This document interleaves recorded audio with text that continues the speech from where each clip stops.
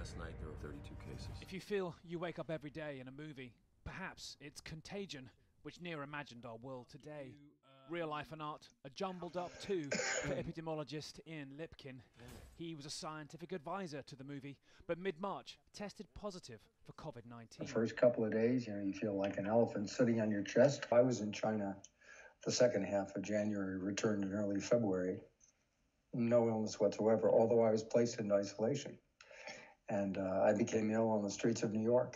Our pandemic is no movie, and Lipkin is one of many scientists with something very new and real to say today about where the virus came from.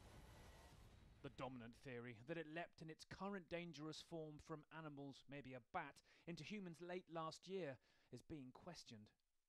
A recent study in Nature Medicine magazine says the leap may have happened months or years ago, and then the virus circulated less lethally in humans and adapted to be more infectious to them before becoming the monster it is now. I think it probably circulated in humans for some time.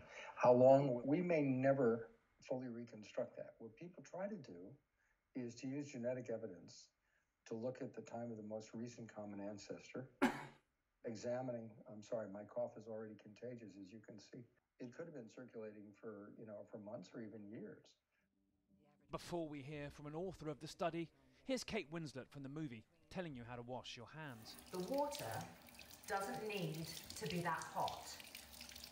And most any soap will do.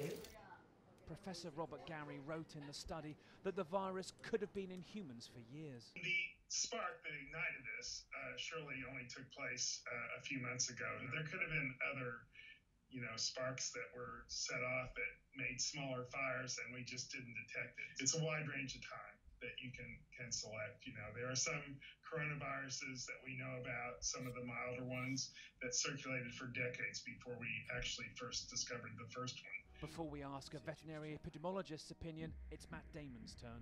That was a movie. This is real life. Stay six feet away from another person.